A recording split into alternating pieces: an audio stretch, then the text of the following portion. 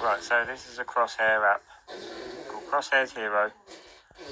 Um, just looks like this. So you pick your crosshair, pick whatever shape you like. The dot seems to be uh, the best looking one for me. Pick whatever colour you like. So I'm colourblind, so I'm going to pick something really bright. Opacity, if I just start it, it'll show you. So you can change the size of it. Opacity is how bright it is on your screen. So you're not going to want it too big, something like that. Um, you can choose your own picture or your own shapes or anything, and you can rotate them. Uh, position, so you can change where on the screen you want it. So pressing the down button for it to go down. You know, go right, go left, whatever. So I'm going to put it down to about there. Um, and I think that's about it. So, got it on your screen now. Go over to Golf Rival.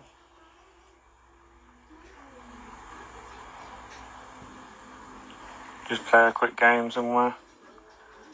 Um, so, uh, so you can see the little dot there.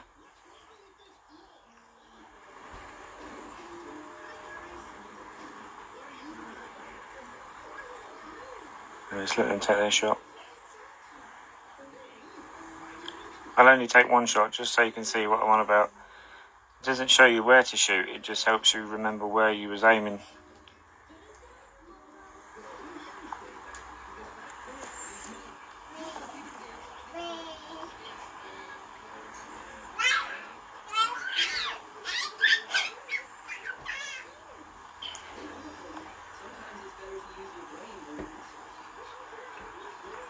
So I'm not fussed about where this goes. I'm just just for the purpose of you know showing you guys.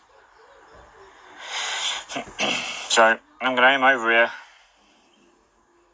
Let's put some curve on it. Right, I want to head that way. Right, so that's where I want to aim.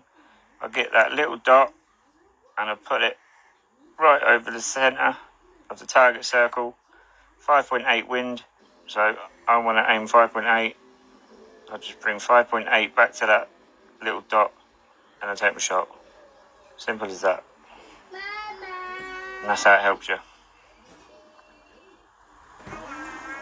There you go.